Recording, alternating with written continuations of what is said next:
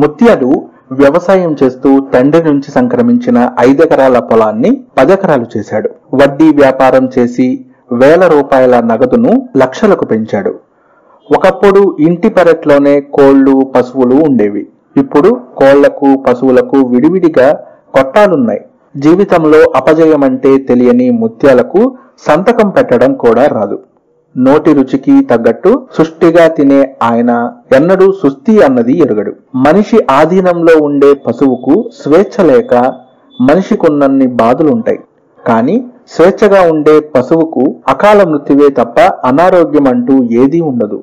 మన కర్తవ్యం నిర్వహిస్తూ ఫలితాన్ని దేవుడికి వదిలి ఎల్లవేళలా మనసును సంతోషంగా ఉంచుకోవటం మనం పశువుల నుంచే నేర్చుకోవాలి అంటాడు ఆయన ఆయన్ను ఎరుగున్న వారి మాటలకు ఆశ్చర్యపడతారు.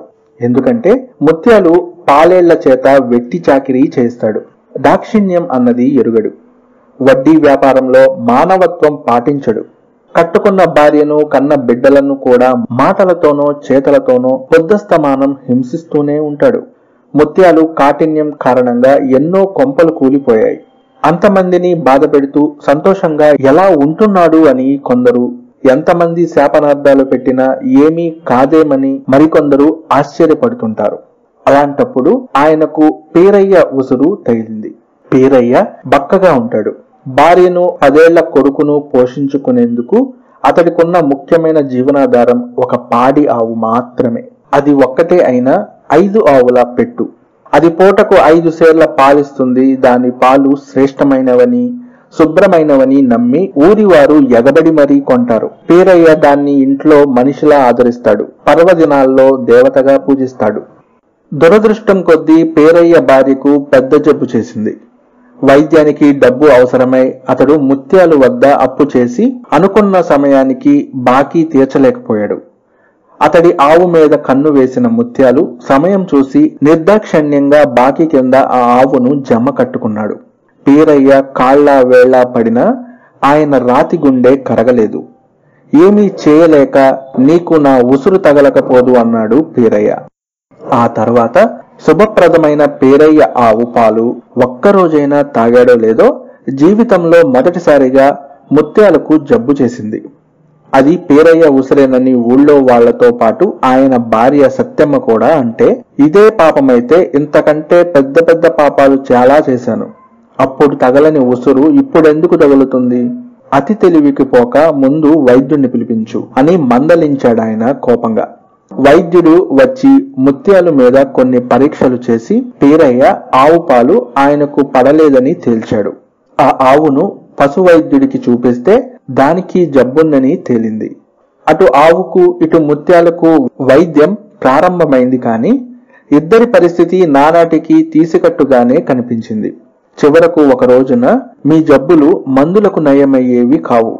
ఆవు పేరయ్య కోసం బెంగ పెట్టుకుంది. ఆ ఇంటికి తిరిగి వెళితే దాని జబ్బు తగ్గుతుంది. అప్పుడు పేరయ్య సంతోషిస్తే మీ జబ్బు కూడా నయమవుతుంది.